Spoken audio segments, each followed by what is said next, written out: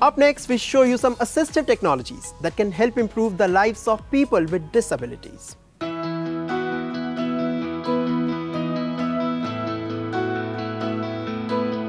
An estimated 1.3 billion people in the world experience disability. That accounts for approximately 16% of the population. But what can be done to make their lives easier and better? Enter technology.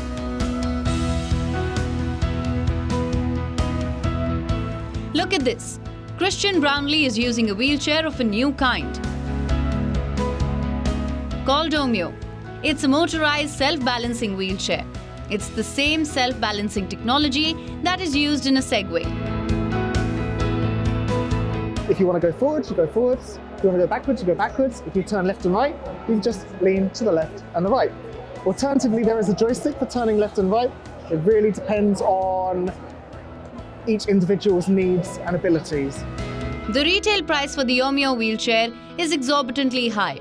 It sells at $24,000. High-tech solutions that are aimed at improving the lives of people with disabilities. People with additional learning needs can turn to Cosmoids, smart buttons connected to an app with games.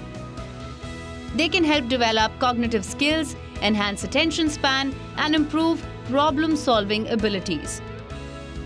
Cosmoids can display a wide range of colors. So you could play different games supporting communication, cognitive skills, and collaborative skills. Uh, there are a lot of physical games, so you place the buttons on the floor, maybe on the walls with magnets, and you can move around, you can stretch your body, get a good cardio, good motor coordination.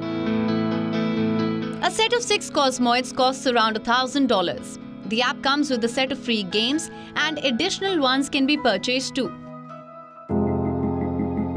We often take the most basic abilities in life for granted. One of them is just being able to eat our food. But many in the world struggle to eat food on their own. The Neater Eater Robotic V6 could come in handy for them. It's a device that features a spinning plate with a spoon or fork mounted on a robotic arm. It also comes with a companion app that helps users scoop and spin the plate. The high-tech device also works with other controllers to suit different disabilities. Neater is also working on voice assistant integration. If you want to set up a mouth position, it's menu, mouth position, spoon comes up to a default position. All you do is you grab hold of the arm, you can take the spoon to the person's mouth, and you can really accurately, you can, you can look at it in situ. And then when you're happy, you just press save. Let's save that position. And it's now basically ready to go. The device retails for $8,300. Although these tools are complex specialty products built with accessibility in mind, the cost of many remains beyond the reach of average earners.